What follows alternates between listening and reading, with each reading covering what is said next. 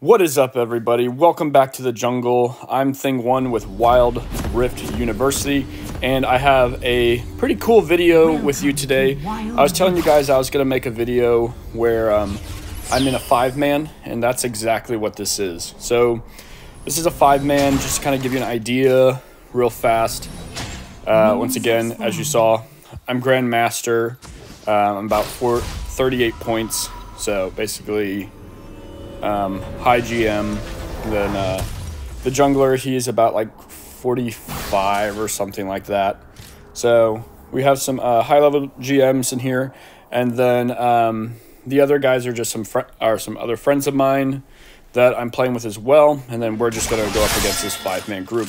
So first, kind of let me break down um, our team comps for you to kind of give you an idea of like what my thought process is and like what our goal is like as a team.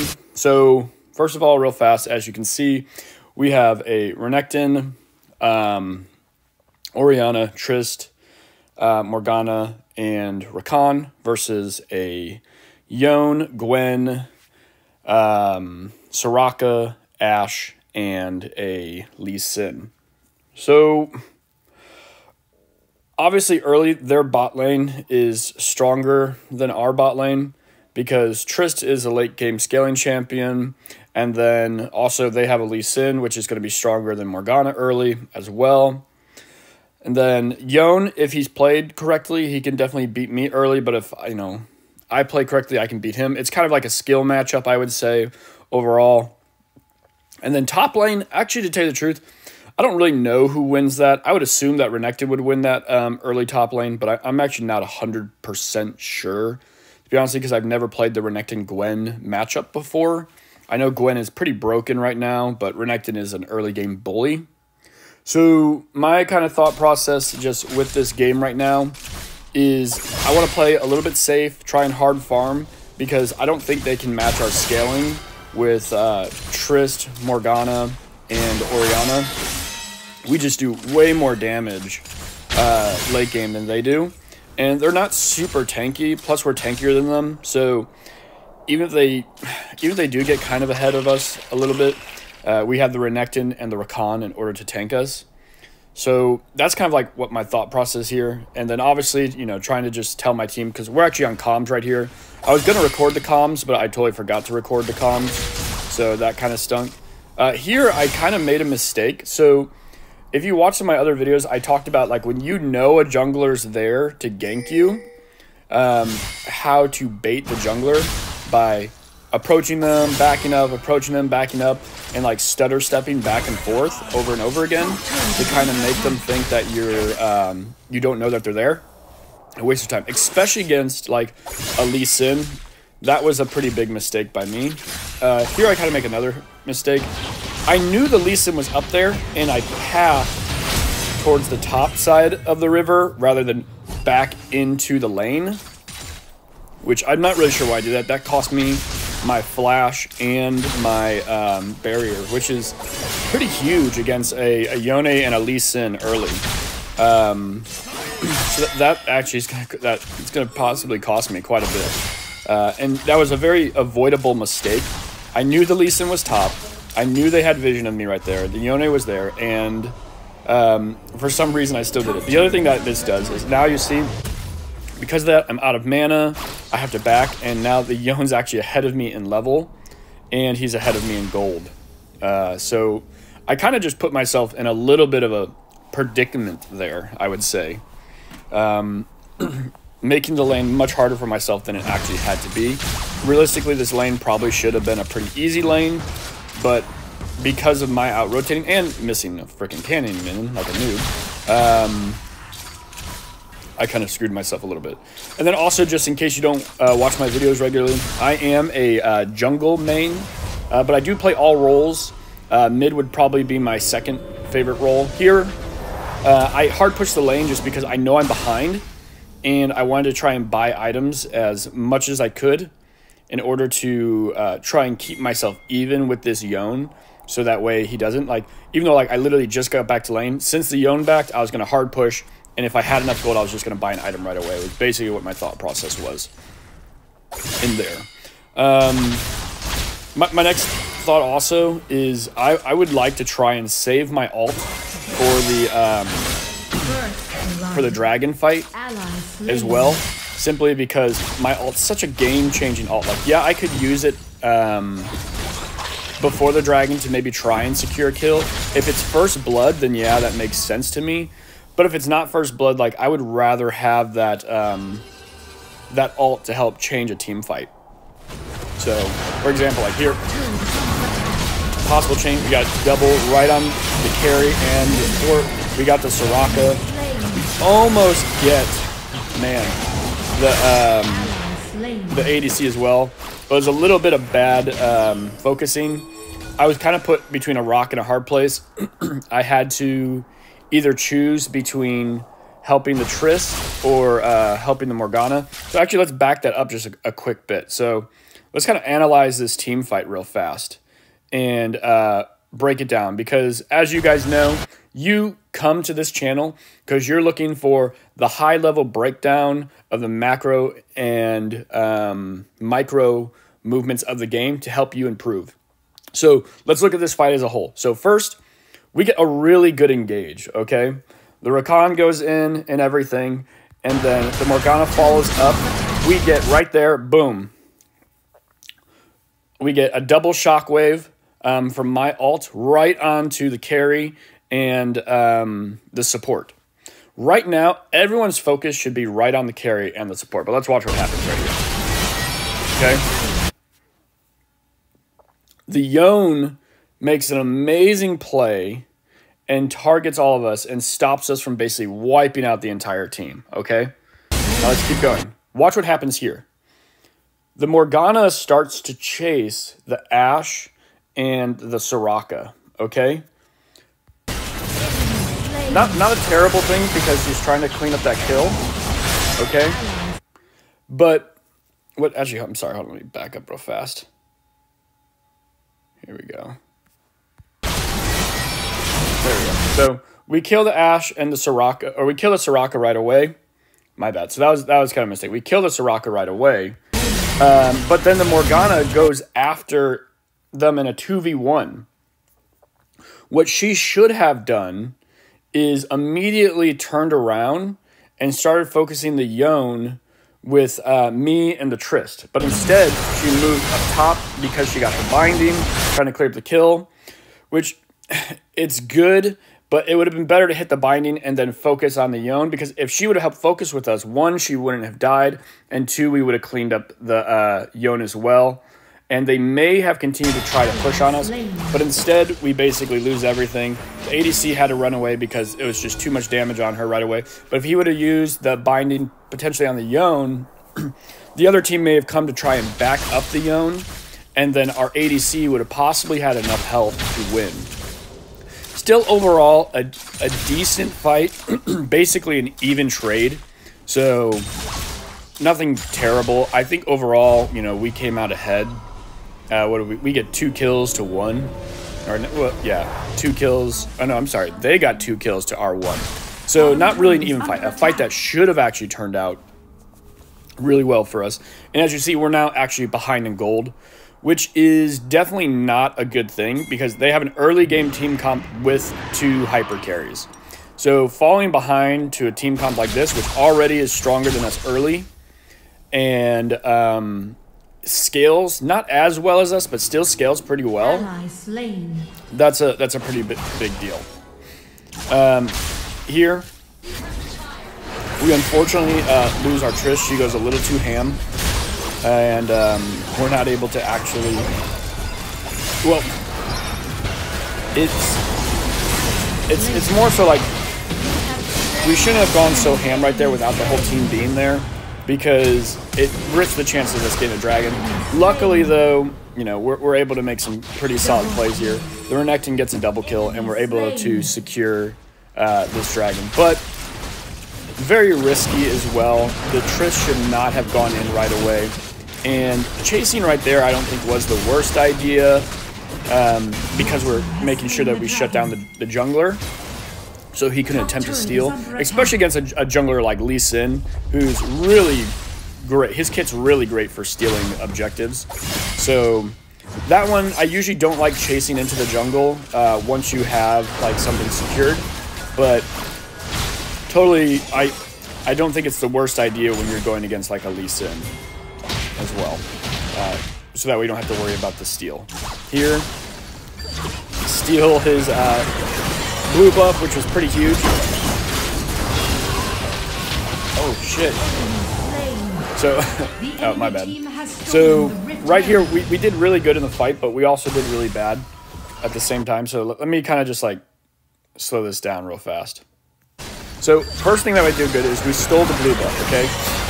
As a team, we should have stopped really fighting the uh, Rift for a second and then just immediately quick killed the, um, the Gwen. And then we should have uh, focused completely on the Lee Sin. Or what else we could have done, actually, is that Gwen was probably dead. We probably didn't need all of us attacking the Gwen at the same time. We, uh, I could have, since that that Gwen was probably dead. I could have probably helped peel off the uh, Lee Sin because now the Lee Sin has the um, the Rift Herald, and if they get first tower, that puts them back in the lead of gold and everything as well. So that fight wasn't done super well. It wasn't done terribly because, like I said, we did end up getting a kill, but they also got um, a gold lead on us as well. So kind of what my, my thought process is going forward is like, okay, we need to try to make sure we keep eyes on the Lee Sin because he obviously has the Rift Herald, and his primary goal right now and thought process is how can I get first tower to try and keep my team in the lead. Killing spree. um, so keeping eyes on him, best way to do that really would for us to be putting some deep wards in his jungle, which we're not really doing. Um, one of the things I've been, I've been, noticing about a lot of my gameplay lately is um, I haven't been doing the best job at keeping wards in jungle. Oh, this is actually kind of cool. So right here, uh, let me back it up real fast. So right here, uh, me and the uh, Morgana are actually talking. And he's telling me to go aggressive to set up a gank to bait him into attacking me. So I'm like, okay, cool. I'm just gonna go right in on him then. He immediately goes on in, gets stunned, we clear him out. I didn't have to flash there. That was um, a pretty unfortunate mistake. Um, but luckily, we still got the kill, which is pretty big. And Lee Sin, exactly like I said, he's going immediately trying to um, get a kill. They do get the first tower and everything. So gold's getting pretty even again as well. I keep forgetting that team. Morgana gets a great spell shield right there, stopping the kick. And uh, here, we actually, man, we actually play this really well. I don't know how the uh, Gwen didn't get it, but we got away just perfectly. Morgana being a little more aggressive than she should. I'm staying around when normally I wouldn't want to stay around there. But one thing to kind of think of, you know, if your team is engaging, sometimes it's better to make a bad play as a team than it is to uh, let your team make a bad play alone. Simply because if you work together, there's a better chance that a bad play will work out. Versus if you have a good play and nobody's working together, it almost will never work out. Um, teamwork makes the dream work, basically, like all the time. Um, oh, here, sorry, I accidentally like misclicked on a on this one right here. So another thing uh, for Orianna mains out there, what you if you're looking to fast clear your wave, probably the best way to fast clear the wave is to throw your S1 through the wave, pull it back with your S3, walk in the middle, and then uh, hit your S2, which is the fastest way to clear a wave. Now the downside with doing that is it's pretty risky. Here, this is great. Okay, so watch what the okay. So watch how the Rakan goes top and I go this. way. We're eliminating all the exit potentials of this Ashe. And this is really good. So watch both these preemptives. Boom, got it. He knows he's to flash, immediately jumps in and blocks his flash. Preemptive judgment. Um, it, it's, it's pretty big. That was that was just a really great play by our team as well. Um, here, obviously, we need to be pretty careful because we don't actually have vision. And this Yone, man, is absolutely... I feel like every time I play Yone, I always think that I'm outside of the range of his um, alt when I'm playing, and then when I go back and look at the videos, it's like, wow, I'm literally just touching the very like tip of it, and I get super lucky and survive there with negative one HP somehow. Um, and so this this right here, this was a good call. So right here, my jungler is like, yo yo, everybody come to uh, Dragon. Uh, I'm kind of shot caller on my team, so I was like, no no no no, uh, Renekton stay bot lane and do the rift, or technically top lane, but you guys know what I'm saying. And let's do the dragon, uh, because I was like, we'll finish the um, the rift first, and then me and the Morgana can clear this. That will make them think that, okay, there's no way they're doing the dragon, and so they won't have as much uh, priority towards it. And we secure. Here in the mid lane, they they did the right thing by like distracting to make them think that hey, we're not doing the dragon yet. Uh, but they went two hand. Really, they should have just been playing like defensive and uh, focusing. Um, here, huge team fight um, that was just totally blown. So watch this. Okay, so we're all right here. All right. The Morgana uh, went to clear her blue because she had no mana. So she told us, like, hey, I got to get this blue first. I have no mana. Makes sense. So our job is to just defend. The Lee Sin starts to run away. We chase. I mean, look at this, though. If me and the if Rakan would not have alted here to go after the Lee Sin, but alted them right here, we would have had all three of them under tower in the Morgana alt that she just flashed to engage. And then I could have also been there, but me and the Rakan tunnel vision completely ignore this awesome play that was just set up because we're trying to chase the Lee Sin. I mean, huge mistake. Huge mistake by us. We probably would have got two, two of them. One for sure, two maybe, three if we got super lucky. It was a, um, it was a pretty massive mistake. Here, Man, I, I hate I hate Yone so much. He he, he literally kills me there. Like there, those are one of the ones where I thought I was actually in his alt. Didn't get in his alt, but then his uh, S2 sweeped and killed me. So this was actually a, a good move. So as you saw, the Trist, she um, jumped, placed her bomb. And in case you don't know, Trist, uh, your jump resets if you blow up your um, your bomb with an auto attack. So it allows you to uh, mobilize more. So if you know you're about to blow up the bomb with a Trist and like one more auto attack, maybe, and you know you need to get further ahead, preemptively jump in front of that champion, get that last auto attack, so that way you can reset the jump and immediately jump further to where you need to go, whether that's forward, back, left, or right. Um, just something to think about if you're uh, playing Trist. Trist is actually one of my best ADCs. I don't play ADC super often, uh, but when I do play ADC, Trist and and Vayne are by far my best uh, ADCs. Here, okay, this was, this was really great. So let me rewind this real fast. So when they're here in the mid lane, I'm basically telling my team right away, like, hey guys, they're here in the mid lane. We can make a fight. We can get a fight. We can do this. We can win this fight. I, am strong. I'm immediately pinging, like, we can do this. Tell them to go. I see them going in, and I'm like, let's go, let's go, let's go. I immediately pop it. The Renekton listens, goes in. We secure the kill. Excellent team fight right here. Excellent team fight. Um, Soraka's probably, for their team, the most important person to kill. Because if we can't get on top of Soraka, she's literally just going to shred us. Um, here, we obviously overstay we're clearly not respecting the alt of the Yone this game, which is kind of like stupid of us, honestly, because Yone is such a broken champion. Uh, but we're not really respecting it. I'm not really sure why we're not respecting it so much. I think it also just slightly has to do with the fact that like people are learning like new champs. But actually, if you um, we're also pretty far ahead now. But if you looked at the start of this game, you know, we were pretty even and even behind a couple times. Um, but we started to come ahead like in the team fights, which is kind of how I felt we would, because the AoE damage of Morgana and Orianna is pretty absurd. Uh, especially because Morgana and Orianna are some of the hardest scaling champs in the game as well. Especially if you're running like Gathering Storm on them. Um, so we're kind of getting to the point in scaling to where they can't really match our, our damage too much. And then we have really good CC with the Rakan. Um, and of course we have the late game scaling of the Tristana as well.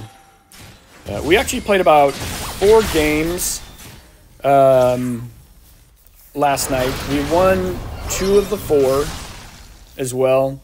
But honestly, we, sh we should have won. We should have won all of them. There, there was some really big mishaps and mistakes. Uh, things that just should not have happened in some of those fights that uh, caused us to not win them all. Uh, here, let's kind of go back and reanalyze this fight real fast. Uh, I kind of got on a little tangent there talking about some other stuff. So, okay. Here, let's let's look at the fight. Okay, first of all, it's smart that the Rakan went in. The, Rakan immediately alted in and everything. Um, our one downside is our Morgana's not with us. So right now it's a 4v4, but realistically it should be a 4v5, okay? Um, it would have been nice if we communicated better as a team and we had the Morgana ready with us, especially since um, the Rakan was going to alt. Uh, this fight would have been absolutely shredded for them.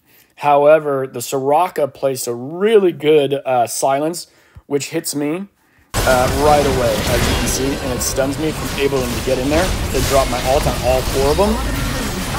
Uh, but the Renekton does really great, goes ham, um, gets the kill.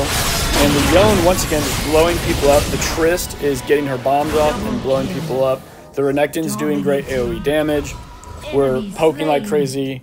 And for some reason, um, with as far as they are behind, I kind of get what they're doing. They're trying to split push because they realize they can't win necessarily a team fight. But they also shouldn't be split pushing as deep as they are because they also can't win a team fight. So that's kind of like one of the mistakes that people make when they're split pushing. You have to try and go for like micro wins uh, when you're kind of far behind. Because if you push too far, it lets the enemy team to know to engage on you, kind of like we just did. Because like, there's no way that Gwen can get here. So it's already a 4v5. Uh, we win it hard because we're already ahead. And we know we're ahead. We have two dragons. Um, we're winning team fights. But they have to split push because if they don't get pressure on other sides of the map, they can't break us up and hopefully try and get a pick. Because their comp is really based on a pick. And the issue, I think, with them was is they weren't utilizing the Ashe Arrow and the um, Yone ult together to uh, to get picks. Here we didn't get the um, the dragon simply just because we uh, were not coordinated as a team. We were trying to tell people to go in, but people were like doing things that they shouldn't have been doing. They get the dragon, but it really doesn't matter because they kind of overextended a little too much, and we were able to kill Soraka and the Yone which who are basically like their two most important champions um, in order for them to win fights for the most part.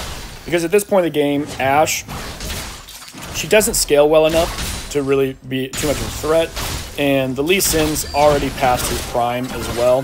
So really, all their fear is on the Yone, Soraka, and Gwen.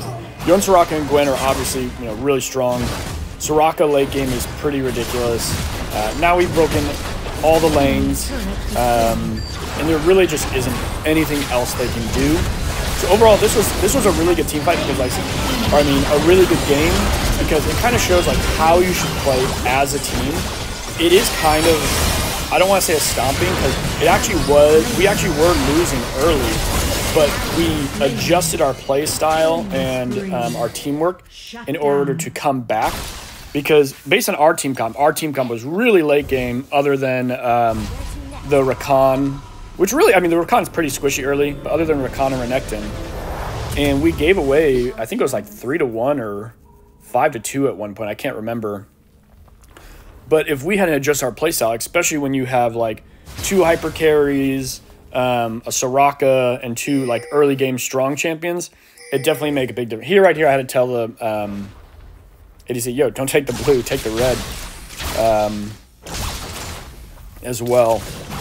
So, um, but otherwise, yeah, the game basically it kind of looks like a stomping, which uh, I don't really like posting games where it's just like a stomping. But the reason why I'm posting this game, it's more so because it's showing like how to work as a team. Um, and the two games that we actually lost, um, I thought about posting those games, but I didn't feel like there was actually anything valuable um, in those games because there was no teamwork. Uh, there was not going to be anything. Actually, let me pause real fast. There was nothing in those games where I could have shown you, like, okay, this is how you work as a team. And even if I could have like talked about mistakes, it it really wouldn't have been my mistakes. It would have just been conversation. I did make mistakes for sure, but it would have been more so just talking about like, hey, these were my team's mistakes. There's really nothing I could technically do here.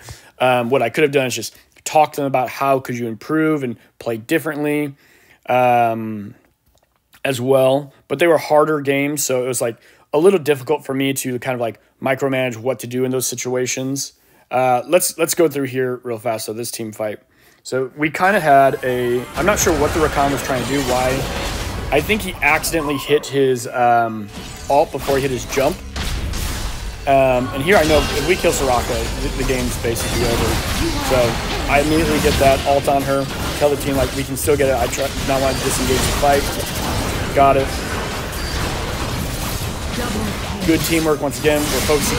I totally messed. If I would have played this right, I would have got a penta, man.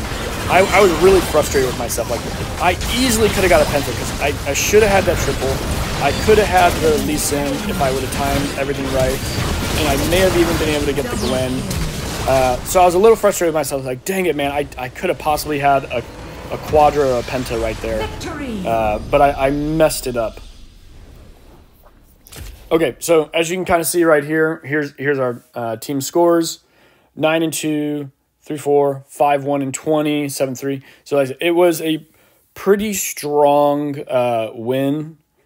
Um, we were behind early, but we had good team fights and good coordination to get ourselves back ahead. Which falling behind early, which a lot of you know, to a Lee Sin is definitely dangerous, uh, especially because their Yone, I think, was the one who actually was ahead, which is even more dangerous because their late game champion was actually the one who was uh, getting the kills. And anytime a late game champion gets some early kills, that can be um, pretty dangerous. And we did a great job as focusing the Soraka, as you could see.